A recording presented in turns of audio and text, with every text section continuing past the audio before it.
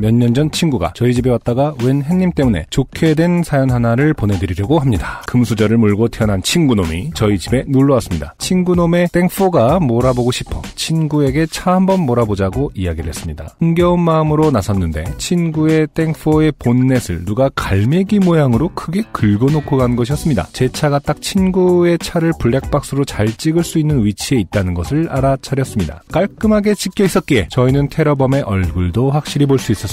친구는 바로 경찰에 신고부터 했습니다. 사정을 들은 경찰분들은 그 테러범 아저씨를 찾아갔습니다. 아니나 다를까 이 아저씨는 고래고래 소리를 지르면서 나타났습니다. 당연한 수순인 듯 증거 있냐 이 땡땡땡아 라고 고함을 쳤습니다. 저는 웃으며 증거 여기요 라며 증거 여기요. 노트북에 담아온 영상을 틀었습니다. 결국 저희는 지구대까지 가게 됐죠. 여기까지만 하면 참 뻔하디 뻔한 개저씨 사연인데 제가 사연을 보내게 된 아저씨의 엄청난 드립이 아, 네. 지구대에서 튀어나왔습니다. 너네 내가 누군지 알아? 누구신데요?